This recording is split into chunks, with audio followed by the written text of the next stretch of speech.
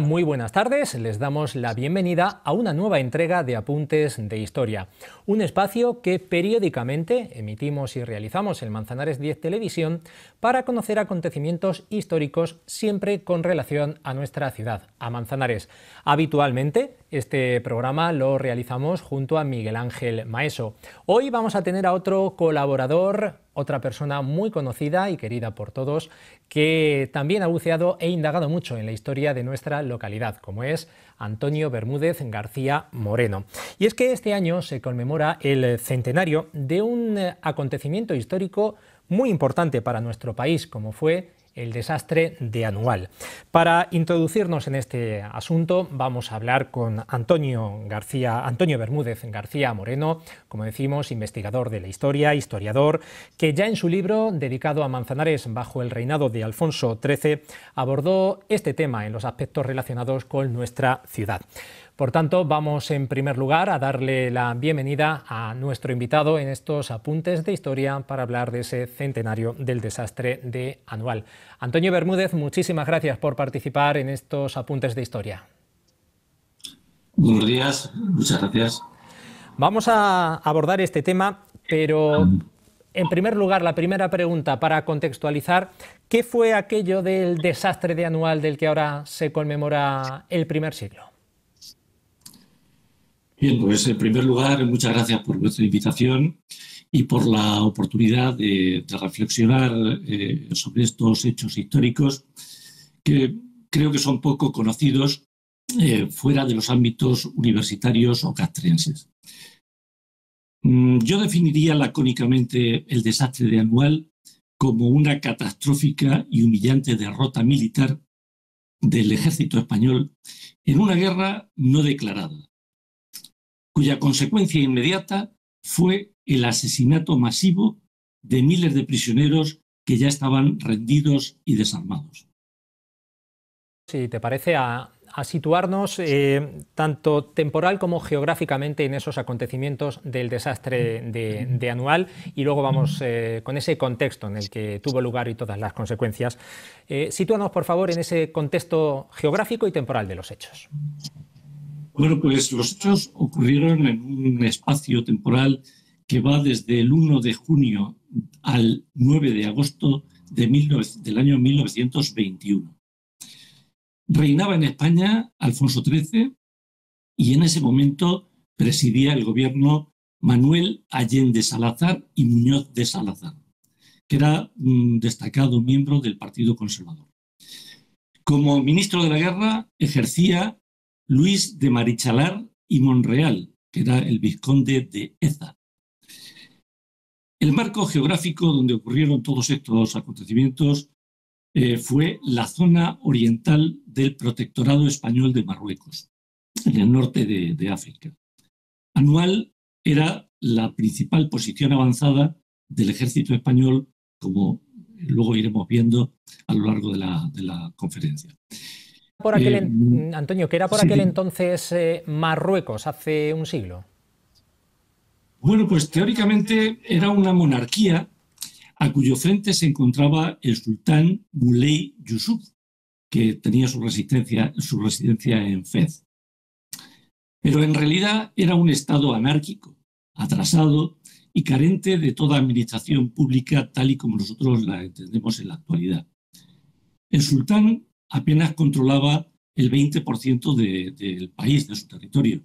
El resto eran zonas independientes, poblados por cabilas belicosas, divididas en facciones o yemas, lideradas por, por jeques, que eran que su gente los respetaba por, porque tenía una baraca, que era una mezcla de, de suerte y valor guerrero, y también por su, por su poder económico.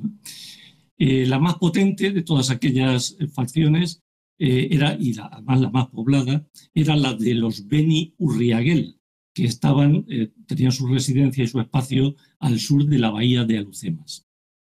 ¿Qué hacíamos en concreto los españoles allí hace un siglo en, en Marruecos? Bueno, la presencia española en el norte de África se remontaba al siglo XVI. por ejemplo, Melilla fue tomada por el duque de Medina Sidonia en 1497 y pasó a la corona en 1556. Ceuta pasó también a manos españolas en 1580, después de, su conquista por los portugueses unos años antes. Muchas veces los indígenas habían intentado expulsar a los españoles de, de aquellos eh, parajes y concretamente ya en el siglo XIX, en 1859, se declaró la guerra eh, con el sultán de Marruecos, eh, que terminó con la victoria española en la batalla de los Castillejos. Por el Tratado de Guarras se consolidó la soberanía española en Ceuta, Tetuán y Melilla, ampliando el territorio a, a zonas adyacentes. En el caso de Melilla, se reconoció un área de autoprotección que se extendía más o menos unos tres kilómetros eh, bordeando alrededor de la ciudad. ¿Qué es eso del protectorado? Explícanos. Pues un protectorado es una modalidad de administración de un territorio en la que un Estado fuerte, se supone que España entonces era un Estado fuerte, ejerce su tutela sobre una entidad política que, por su debilidad o escasa autoridad de los dirigentes, no puede ejercer una soberanía plena ni mantener el orden eh, interno en, ese territorio. Teóricamente implicaba una colaboración con la autoridad indígena para pacificar y desarrollar la zona. También tenían la obligación de crear infraestructuras que permitieran el desarrollo del territorio protegido. Eso era la teoría. En realidad era un instrumento colonial al servicio de los intereses estratégicos, económicos o militares de las grandes potencias, que explotaban los recursos bajo protectorado, pero en su provecho. ¿Cuándo se inicia ese protectorado español sobre Marruecos? Bueno, en la conferencia de Berlín de 1884, las potencias europeas que necesitaban materias primas para acometer eh, la segunda revolución industrial marcaron las pautas para repartirse territorios de África. Se entendía que la civilización europea era superior y estaba justificado sustituir la soberanía de países débiles y beneficiarse de esos recursos naturales que los nativos tenían, pero, pero que no explotaban. Como regla general, se aprobó que para tener derechos eh, los eh, países de Europa sobre un territorio africano tenían que ocuparlo y mantener presencia real eh, en el mismo. Luego ya, en 1906, tuvo lugar la Conferencia Internacional de Algeciras, donde se organizó, de, hecho, de facto ya, el reparto del noroeste de África.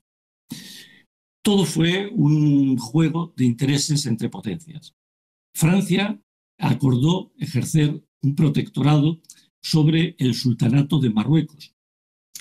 Pero Inglaterra mm, no quería de ninguna manera que Francia ocupara eh, o dominara el estrecho. Por eso eh, encargaron a España, eh, le adjudicaron esa zona norte, esa franja costera de complicada orografía que se extendía desde Melilla, por un lado, al Arache mientras que los franceses ocupaban la zona del sur mucho más amplia y rica. Formalmente, el protectorado español se creó tras la firma del Tratado de Fez en marzo de 1912, por el que el sultán cedía la soberanía mm, sobre Marruecos a Francia y Francia nos subarrendaba de alguna manera, nos encomendaba ejercer ese protectorado sobre la franja mediterránea. Y a efectos prácticos, Antonio, ¿qué beneficios sacaba España de aquello? Pues para España aquello era un negocio ruinoso. El territorio que nos asignaron era pobre, montañoso y seco. Había que mantener allí una alta comisaría, tres capitanías generales, Ceuta, Melilla y Larache, dos ejércitos, los órganos administrativos de todo el territorio el desarrollo de infraestructuras y, sobre todo, las donaciones o sobornos a los notables de las tribus. Suponía también un elevado coste en vidas humanas por el continuo, hostigamiento que sufrían las tropas españolas. Sin embargo, parece que desde el punto de vista de la alta política internacional, pues era importante tener presencia en África como el resto de potencias. Era un poco pues para decir, aquí estamos también nosotros que somos un país europeo. Pero en realidad España entonces era una potencia de tercera fila desde el desastre del 98. También estaba el interés estratégico por controlar el estrecho y poder dominar toda la franja mediterránea, enlazando las plazas antiguas de Melilla y de Ceuta. Otro posible interés era que cerca de, Nador, de la localidad de Nador, se habían descubierto unas minas de hierro, pero su explotación, entonces no había allí nada, había que construir un ferrocarril para el transporte del mineral hasta la costa y un puerto para poder traerlo a España. Todas esas infraestructuras eh, no fueron rentables por lo menos hasta 1923. Sí, Antonio, ¿cómo reaccionó eh, la población autóctona a ese protectorado español? Pues de forma diversa. Había algunos jeques que aceptaban bien la presencia española, valoraban eh, los avances de la civilización, tener asistencia médica, policía, carreteras, pozos. Las cávilas que se encontraban eh, cercanas a Melilla se beneficiaban de un cierto comercio, ya que eh, suministraban a la población y a la intendencia militar carne, hortalizas, huevos, grano. Sin embargo, otras tribus de la zona central, que ni siquiera acataban la autoridad del sultán, pues menos eh, aceptaban la de los españoles, a quienes consideraban enemigos e infieles a los que había que expulsar. En definitiva, nos estábamos empeñando en proteger, eh, hacer un protectorado sobre gente que no quería ser protegidos. Y ahora la inversa, al otro lado del estrecho, en nuestro país, la sociedad española, ¿cómo aceptaba o cómo veía esa aventura? Pues como siempre, la sociedad española estaba dividida. Conservadores y monárquicos aprobaban el papel de España en África, porque después de la pérdida del imperio colonial en 1898, necesitábamos recuperar algo de prestigio en el marco internacional. Los oficiales y jefes militares tenían allí la oportunidad de escalar rápidamente por méritos de guerra y algunos se enriquecían con la corrupción. Por el contrario, los partidos liberales y de izquierdas estaban totalmente en contra de la guerra. La guerra del RIF, eh, para que nos demos una idea, implicaba gastar algo más de la mitad de todo el presupuesto nacional en mantener un ejército eh, mientras que el país estaba en la miseria el pueblo llano eh, estaba, era absolutamente contrario a la aventura africana. La mili de aquella época duraba la friolera de tres años, tres años en activo, y eran los más pobres siempre los que iban a primera línea. Los ricos e influyentes siempre se libraban de una u otra forma. Aunque se había eliminado la impopular redención a metálico, que suponía pagar una cantidad y te librabas de hacer el servicio militar, pues quien hace la ley hace la trampa. Entonces quitaron esa forma, pero siguieron manteniendo otras dos eh, modalidades para librarse. uno eran los soldados de cuota, que reducían el tiempo de, servicio pagando entre mil y dos mil pesetas. Si pagabas dos mil, solamente hacías cinco meses. Si pagabas mil, hacías ocho meses pero de, eso comparado con tres años, que era lo normal, pues fíjate lo que suponía. Pero eh, por otra parte estaban los soldados eh, sustitutos, es decir, había agencias que se encargaban, cuando a un soldado le correspondía ir a África, pues esa agencia, pagando 500 pesetas, te buscaba un sustituto porque normalmente pues era, había mucha gente necesitada y siempre encontraban quien por dinero fuera por, por el soldado, al cambio. También había otras muchas corruptelas y presiones sobre las juntas calificadoras en los pueblos. Si la familia del recluta, el que le había tocado ir a África, tenía influencia, pues movían hilos para que fuera declarado exento por enfermedad o útil solo para servicios auxiliares eh, y colocarlo en la retaguardia. ¿Cómo estaban las cosas? Eh, todo esto hace, hace un siglo. Eh, en fin, y es que claro, el, que mandaran a África y conforme estaban las cosas, conforme estaba la situación, desde luego era una aventura muy arriesgada para quien, quien le tocara. Antonio, ¿cómo se llevó a cabo por parte de España la conquista de ese territorio? Bueno, tenemos que pensar que la visión que nos encomendaron teóricamente era civilizadora y pacífica. La penetración en el territorio se hacía siempre a base de una persuasión amistosa, es decir, sobornos a los notables de la tribu. Por eso se decía que el primer soldado era el Banco de España. El Banco de España era quien, quien iba soltando sobornos a todos los que están. A los miembros de, las cabilas eh, amigas eh, se les contrataba luego pues, como obreros para hacer carreteras, o se les reclutaba en fuerzas de regulares y de la policía indígena. Desde luego, la punta de lanza siempre era nuestro ejército, con políticas, pues de hecho, consumados. Se avanzaba en un territorio con las, siempre con las tropas indígenas en vanguardia. Normalmente la ocupación ya se había pactado con, con esos notables y se seguía la táctica del palo y la zanahoria. Es decir, eh, si, se acomodaban a la ocupación bien y si había alguna resistencia armada, pues utilizaba la fuerza para acabar con ella. Eso sí, por razones políticas, se procuraba que hubiera las mínimas bajas entre las tropas peninsulares. Por eso se ponía en primera línea siempre a los regulares que eran indígenas de allí. Vamos a centrarnos ya en anual, que recordamos es el motivo principal de estos apuntes de historia del día de hoy, en los que hablamos con Antonio Bermúdez, eh, porque se cumple el centenario, el primer siglo de, este desastre. Eh, ¿Cuál fue el detonante de la guerra abierta? Bueno, en febrero de 1920 se hizo cargo de la Capitanía General de Melilla el general de división Manuel Fernández Silvestre. Un militar eh, ciertamente audaz e inteligente, con una dilatada hoja de servicios en Cuba, de donde, había nacido, y en la zona occidental del protectorado. Dependía del alto comisario de España en Marruecos, que era el general Damaso Berenguer, también nacido en Cuba, y había, eh, eh, Silvestre había sido ayudante de campo del rey, con quien tenía una relación de íntima amistad. En un año realizó una labor extraordinaria, ampliando considerablemente el territorio controlado o sometido a España. El gobierno y el rey aplaudían su arrojo y le animaban a seguir avanzando para completar la ocupación.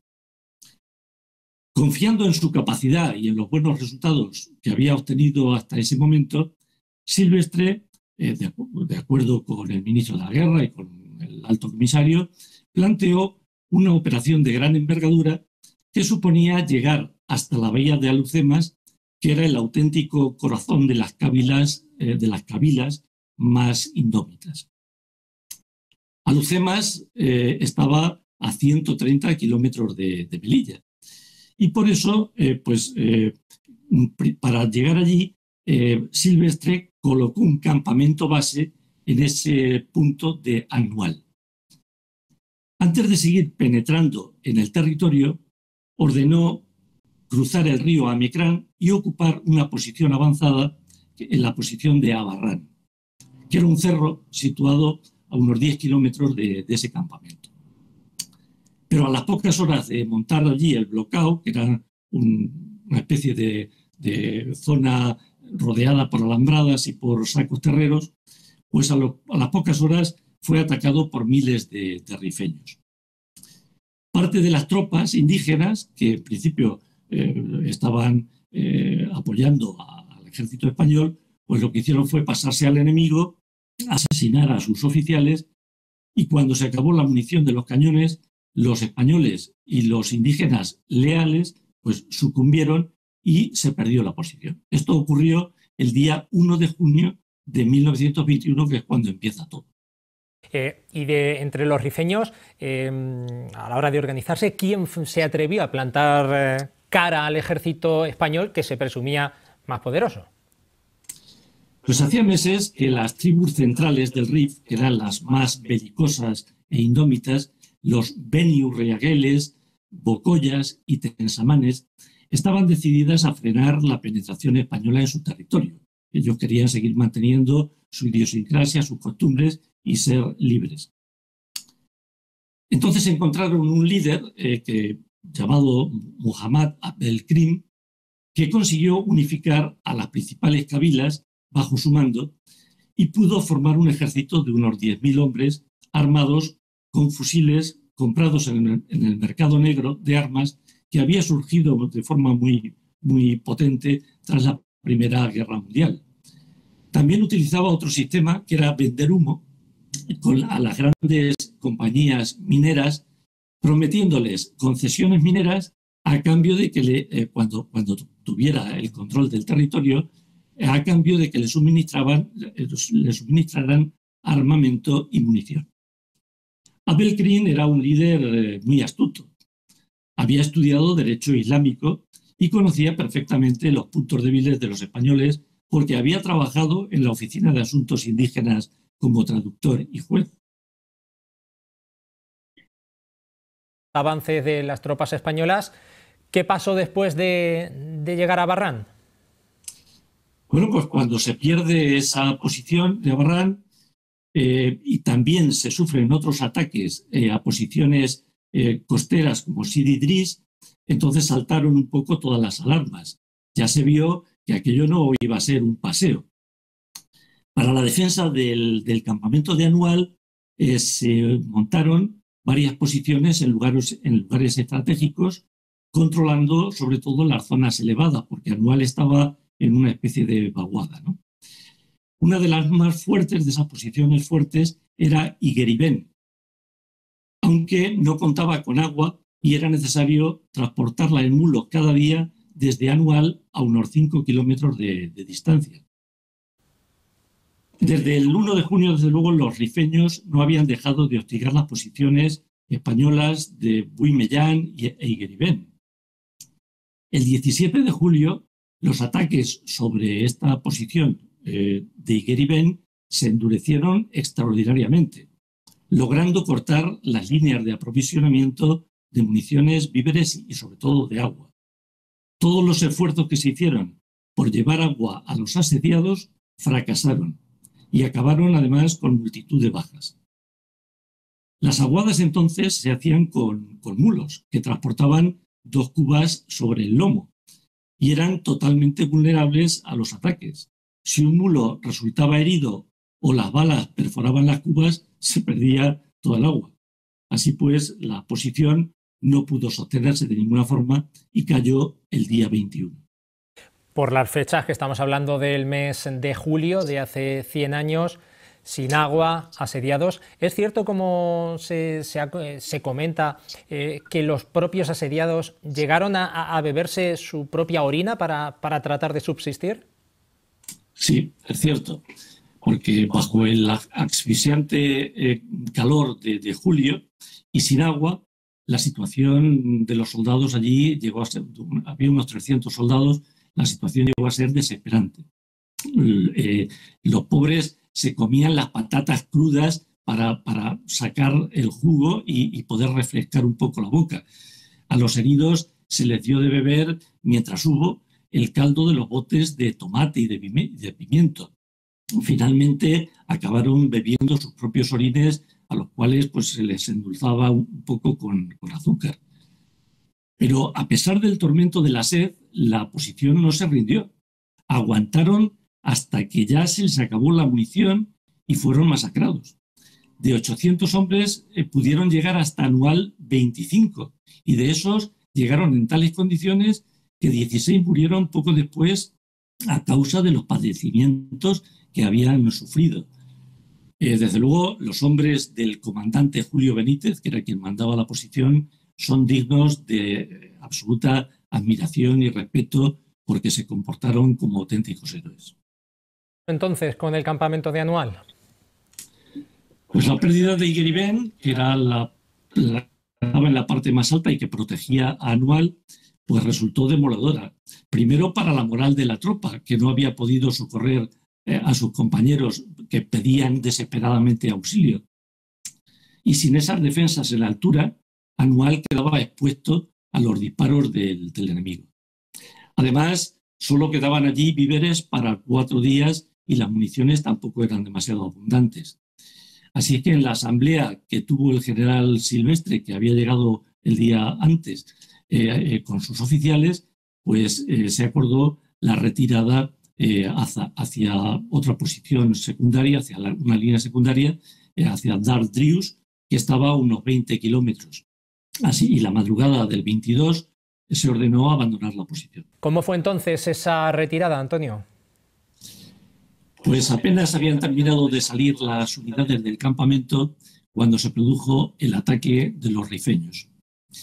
Algunos jefes y oficiales resistieron con bravura durante varias horas para dar tiempo a que se alejara la columna. En esos combates perecieron el general Silvestre y toda su plana mayor.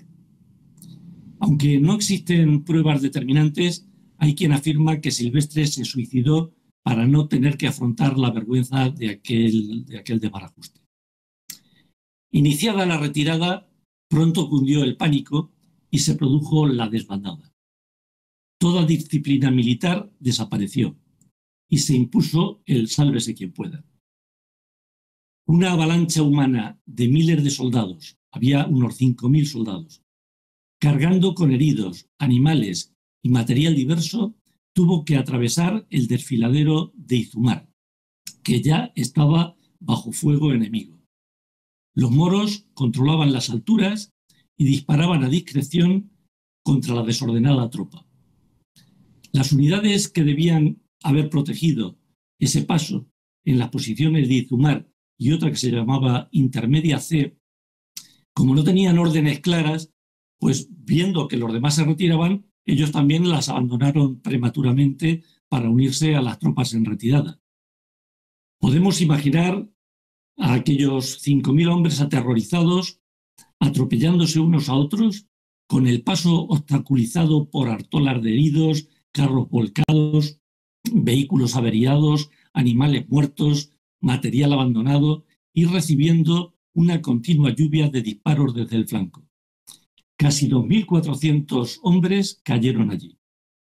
Los heridos eran abandonados a su suerte y al quedar atrás eran degollados sin contemplaciones.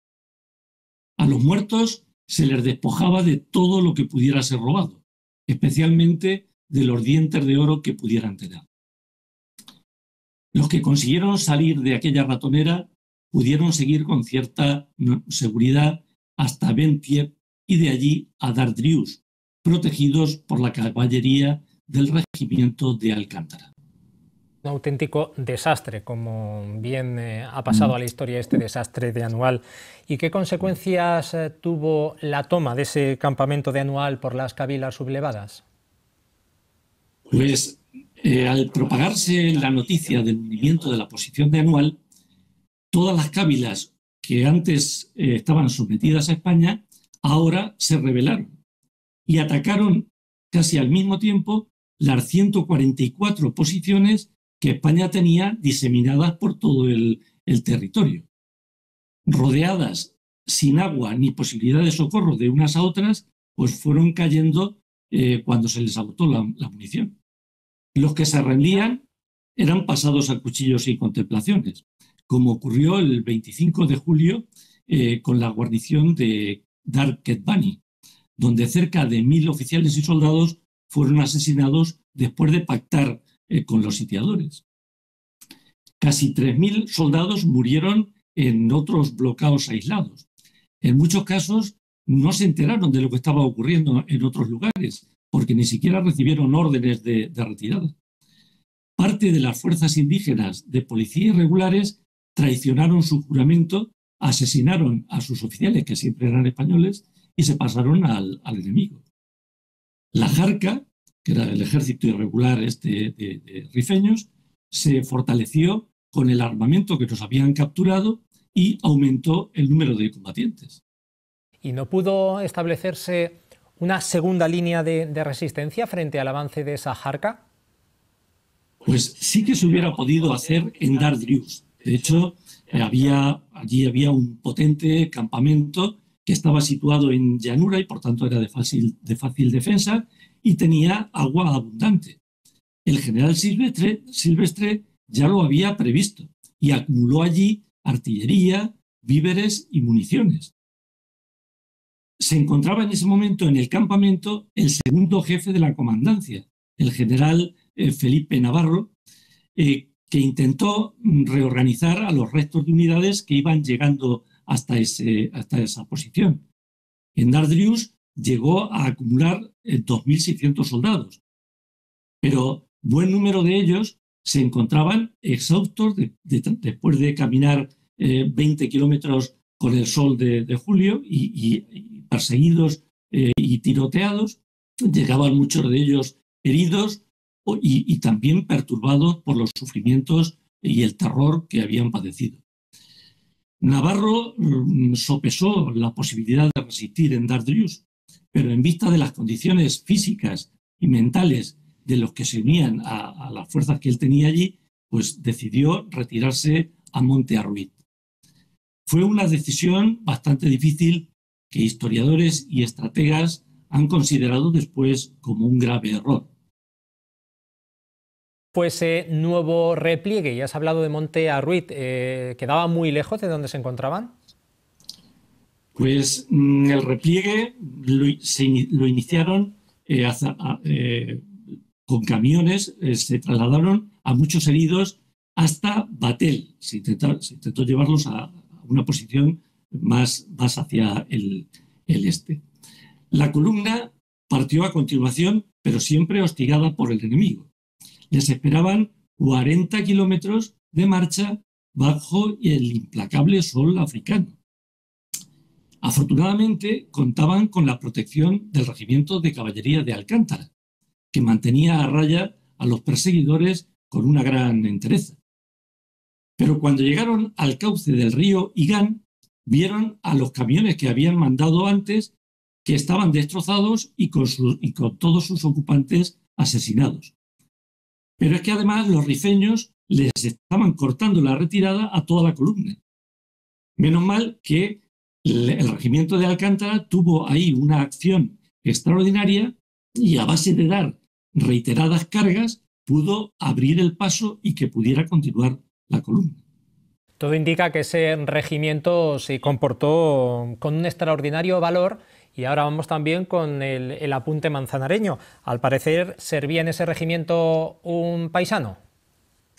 Pues efectivamente, el regimiento de cazadores eh, de Alcántara número 14 lo formaban entonces 700 jinetes. Estaba mandado en ese momento por el teniente coronel don Fernando Primo de Rivera y Orbaneja, que eh, era hermano de Miguel, que luego sería el, el jefe del directorio, y era tío de José Antonio Primo de Rivera, el líder de, Falange. Desde el día 23 de, julio había estado dando protección a la columna de, Anual en su retirada y, a otras tropas también de infantería que se iban replegando de otras posiciones. Cuando los rifeños cortaron el paso a la columna en el cruce del río Irán, los escuadrones de Alcántara cargaron hasta ocho veces contra el enemigo derrochando un valor extraordinario y cubriéndose de gloria. Debido al elevado número de bajas que, iban ah, causando, pues en las últimas cargas tuvo que participar ya el personal auxiliar, eh, veterinarios, cocineros y herradores. Y entre ellos, entre estos herradores, estaba el sargento Juan Antonio Criado Maeso, que había nacido en Manzanares el 28 de abril de 1891. Era, mm, como vemos por la fecha de nacimiento, era un soldado profesional ¿eh? Eh, y murió, murió en el combate. El regimiento, de hecho, casi desapareció, pero gracias a su sacrificio, la columna pudo continuar hacia Batel y Tistutín, que eran las otras dos posiciones más atrasadas. Juan Antonio Criado Maeso que murió en ese combate. El siguiente campamento en importancia, lo hemos citado, era Monte Arruiz. ¿Consiguieron llegar a él? Pues sí, El día 25 de julio, eh, toda esa masa, toda esa columna variopinta, eh, con unidades, soldados de distintas unidades mezclados, con los oficiales, eh, pues algunos habían huido, otros se habían quedado, pero era una situación verdaderamente muy, muy irregular. Pues finalmente alrededor de 2.000 soldados pudieron llegar a Montearruid el día 29. La mayoría de ellos estaban destrozados por el agotamiento físico y psicológico. Muchos habían perdido el armamento, había cantidad de heridos y otros presentaban tal abatimiento que no estaban en condiciones de combatir. Hay que pensar que estas tropas españolas eran gente sin formación, eran muchos de ellos eran analfabetos y habían eh, llegado allí unos meses antes y casi sin instruir. Eh, ¿Tenía buenas condiciones esa posición de, de Monterruid? ¿Buenas condiciones de defensa o, peores todavía? Pues no, no, no. Eran, de hecho, eran peores que las de Dardrius. Eh, Arruid era un cercado poco más grande que un campo de fútbol y apenas contaba con víveres para atender a los 2.500 hombres que, sumaban los que habían llegado y la guarnición que había allí. Eh, lo peor es que no había eh, pozos en su interior las aguadas eh, se, hacían desde un punto que estaba a medio kilómetro del, campamento y que además muy pronto quedó en manos del enemigo. El general Navarro organizó la defensa lo mejor que pudo. En condiciones terribles, los situados consiguieron aguantar 11 días de asedio, atormentados por la sed, sin poder atender a los heridos y con mucha escasez de alimentos. La escasa artillería española pronto quedó desmantelada y los moros, que habían conseguido poner en funcionamiento los cañones que los habían arrebatado, pues eh, habían aprendido a manejarlos más o menos y con ellos disparaban contra el recinto causando gran mortandad. Otro asedio, ¿hubo forma de socorrer, alguna forma de socorrer a, los asediados esta vez? En absoluto. Eh, las tropas que había en Melilla eran, eh, eran incapaces de hacer una ofensiva. Eh, de, hecho, eran tropas oficinistas, cocineros, eran tropas auxiliares. Y por otra parte, el día 2 de agosto, los cabileños tomaron Nador, que estaba en una posición más adelantada, y mataron a todo el que no había huido a Melilla y cortaron la, comunicación entre Melilla y Montearruid. Al día siguiente también ocuparon Celuán. La guarnición esta se rindió, pero sus vidas no fueron respetadas. Otros 500 hombres fueron asesinados allí después de sufrir torturas atroces. Con la toma de esas dos posiciones de Nador y Celuán, quedaba descartada eh, toda posibilidad de llegar a Melilla para los supervivientes de Anual. Tampoco era posible esperar ayuda de nadie, pues en Melilla, ya digo, no había tropas organizadas para llevar a cabo una operación de rescate. El 9 de agosto, Navarro, el general Navarro, fue autorizado para pactar una rendición. Entonces, los notables de las tribus, eh, pues se habló con ellos, ellos prometieron respetar la vida de los españoles y al salir del recinto, ya rendidos y desarmados, pues los rifeños atacaron a aquellos hombres indefensos, muchos de ellos agotados eh, y heridos. El general Navarro y un pequeño grupo de oficiales que fueron hechos prisioneros, pues pudo salvarse, algunos notables los protegieron, pero el resto pereció a manos de aquellos salvajes, en una auténtica orgía de, sangre. Dos mil hombres, que se dice pronto, eh, mm, perecieron de forma terrible, eh, degollados, descuartizados, castrados, con los vientres abiertos por las, por las o quemados vivos. Casi tres meses después, cuando ya las tropas españolas pudieron reconquistar Montearruid, el campo estaba todavía sembrado con los despojos humanos de aquellos compatriotas. El periodista Alfredo Cabanillas, que era reportero del Heraldo de Madrid, acompañaba a las unidades de vanguardia que entraron en Celuán y Montearruid. Al contemplar las, pavorosas escenas, escribía lleno de rabia e indignación. Ante la realidad de hoy, solo resta el castigo. el castigo terrible, implacable, contra los moros que así mataron a los nuestros. Obrar contra los rifeños, como ellos obraron contra nosotros, no sería bastante. Haría falta arruinar el territorio, exterminar la raza, y aún permanecería como una eterna acusación contra ellos el recuerdo de estas infamias y de estos crímenes que han herido de muerte nuestra España amantísima. Caramba con cabanillas. Eh, vamos a hablar ahora de, Melilla, porque eh, en esa situación y en ese contexto eh, llegó a caer la ciudad de Melilla. Pues estuvo a punto. Melilla pasó por unos momentos críticos. Aunque acogía a miles de soldados que habían ido llegando desperdigados y muchos heridos, solo tenía una guarnición de unos 400 hombres, pero entre los soldados que había, eh, guardias civiles, soldados que había haciendo distintas eh, enfermos y se pudo reclutar hasta 1.800 hombres armados con fusil. Hubo momentos en que la ciudad fue muy vulnerable a un ataque masivo, pero no se produjo. Parece que Abdelkrim no se atrevió a tomarla ante la repercusión internacional que ello hubiera tenido. De todas maneras, a las 48 horas empezaron a llegar desde Ceuta y desde la península numerosas tropas de refuerzo que permitieron iniciar inmediatamente la reconquista del territorio perdido. Fue un verano ese de 1921 en aquellas tierras norteafricanas desde luego catastrófico para las tropas españolas. Eh, ¿Se tiene constancia del número total de víctimas de este desastre? Pues lamentablemente no se ha podido llegar a una conclusión, a una exacta. Eh, en el expediente que abrió el general Picasso eh, casi inmediatamente para dirimir las responsabilidades de, todo aquel, aquella debacle, se contabilizaron 13.363 muertos en todo el territorio que formaba la comandancia.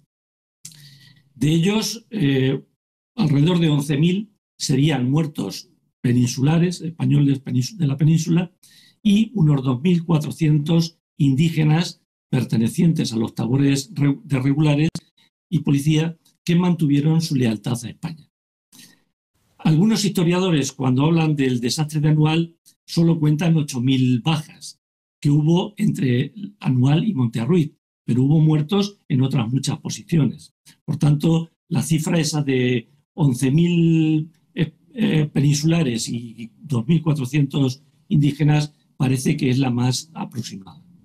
Anteriormente hablábamos de un manzanareño que perdió la vida eh, formando parte de, esa eh, escuadrilla que, hemos comentado, pero eh, por tus investigaciones en los libros de historia que has escrito sobre Manzanares Antonio, ¿se sabe cuántos manzanareños perdieron la vida en esa guerra de, hace 100 años en el, norte de África? Pues lamentablemente no. No porque, mm, aunque tenemos algunas comunicaciones de algunas unidades citando o comunicando a los familiares el, fallecimiento de su deudo, pues hay otras muchas unidades que no reportaron los datos. Entonces, eh, yo he podido documentar aproximadamente mm, unos eh, nueve, soldados caídos hasta finales de 1921, que los aportaba en mi libro Manzanares bajo el, el reinado de Alfonso XIII. De ellos, de esos nueve, aproximadamente cinco murieron en el desastre, el auténtico desastre, y otros cuatro en las operaciones inmediatas de reconquista. Lo sabemos eh, teniendo en cuenta los regimientos a los que pertenecían, porque entonces eh, en el territorio había cuatro regimientos de infantería. Eran Ceriñola, eh, San Fernando, mm, África y Melilla. También había el regimiento mixto de artillería y el de caballería de Alcántara. Pero luego los de Guarras, Guipúzcoa y La Reina llegaron como refuerzos. O sea que de esos nueve que digo, pues cinco cayeron al principio y los otros cuatro en las operaciones inmediatas. De todas maneras, aquella guerra es que duró seis años, duró hasta julio del 27 y ahí también murieron bastantes eh, manzanareños y españoles, por supuesto, manzanareños entre ellos. Antonio, eh, ¿cuáles crees que, como analista, como investigador, cuáles crees que fueron las causas que hicieron posible que unas tribus eh, tan poco avanzadas militarmente pudieran vencer de una manera tan aplastante a unas eh, tropas, a un ejército que se presuponía mejor preparado y, dotado de, material moderno. Bueno, pues eh, ciertamente esto daría para un debate mucho más amplio, pero las responsabilidades hay que repartirlas, evidentemente, entre el general Fernández Silvestre, que era el que mandaba la Comandancia General de Sevilla, de Melilla, y el alto comisario, que era su jefe inmediato y por tanto mm, era, también el que tenía la responsabilidad de todo el territorio. Debido a los éxitos anteriores, eh, el general Silvestre se volvió demasiado confiado y menospreció la fuerza y determinación del enemigo que tenía enfrente. Los rifeños eran guerreros natos que estaban dispuestos a defender a cualquier precio sus tierras y su independencia. A pesar de los consejos de sus subordinados, el capitán general alargó demasiado sus líneas e instaló su base de operaciones en un lugar totalmente inadecuado y peligroso. Aunque era consciente de los riesgos, su ego le impedía arrugarse. Él quería, como fuera, eh, pues llegar hasta, hasta Lucemas y, y quería quedar bien ante el gobierno y ante el rey. Y claro, si reculaba y renunciaba pues, pues quedaba mal. Y él pues tiró para adelante a costa de cualquier cosa. Pero el general Berenguer y el gobierno comparten la responsabilidad de encomendar a, a Silvestre una misión muy difícil, posiblemente sin dotarlo de las tropas y de los recursos necesarios que estaba demandando.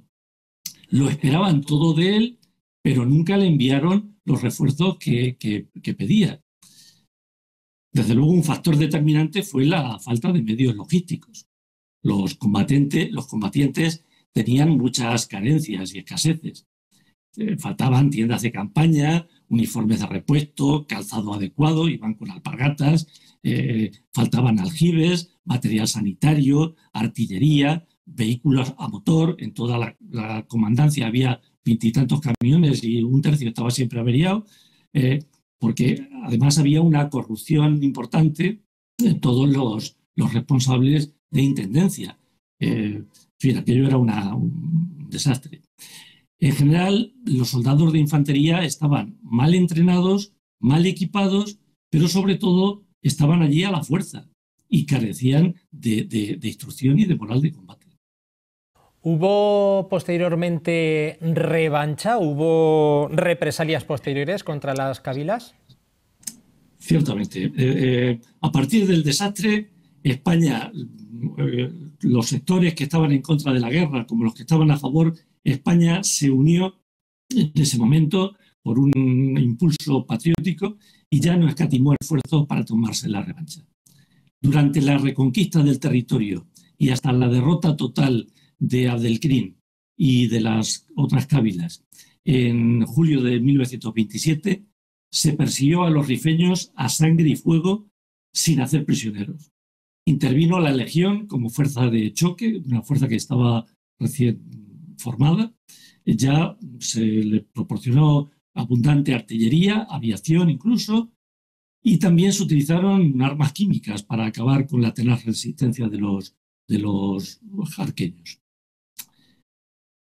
Pero aquí tenemos que plantearnos eh, una paradoja también, ¿no? Eh, y es que solo una década después, los mismos que nos habían, eh, habían estado matando españoles en el RIF, pues fueron reclutados por Franco para seguir matando españoles en la península a los españoles que se opusieron al golpe de Estado de julio del 36. También resulta curioso que el principal responsable militar del protectorado el general Damaso Berenguer, que en principio eh, pues el fiscal le pidió 20 años de prisión por, por no haber, por, por, ser responsable de toda aquella catástrofe, pues en lugar de aplicarle eh, esta pena, fue amnistiado, fue ascendido a teniente general, pasó a ser jefe de la Casa Militar del Rey, el rey lo ennobleció con el título de conde de Schawen y más tarde acabó como jefe del gobierno. Paradojas de la vida, pero desde luego, mm, ciertamente, mm, Antonio, hemos conocido mm, lo que fue ese desastre de hace 100 años, un episodio sangriento, cruel en la historia de España, en la historia de la humanidad, como lo son todas las guerras eh, y las consecuencias de los imperialismos y de, esos conflictos. Te agradecemos, Antonio Bermúdez García Moreno, estudioso de la historia y especialmente de la historia de Manzanares, este estudio y que hayas participado también en estos apuntes de historia que periódicamente llevamos hasta todos nuestros telespectadores. Ha sido un placer repasar este episodio y desde luego conocer esas devastadoras consecuencias de lo que ocurrió hace 100 años, también con participación, desgraciadamente, de algunos de nuestros paisanos. Gracias, Antonio. Pues muchas gracias. Eh, mantener la paz ha de ser un anhelo permanente, pero para garantizar nuestra seguridad e integridad como país debemos estar siempre alerta y mantener unas Fuerzas Armadas bien dimensionadas, preparadas y dotadas. Muchas gracias. Gracias. Antonio Bermúdez, hoy nuestro colaborador en estos apuntes de historia hablando del desastre de anual del que se cumplen ahora 100 años. Muchas gracias, señoras y señores, por su atención.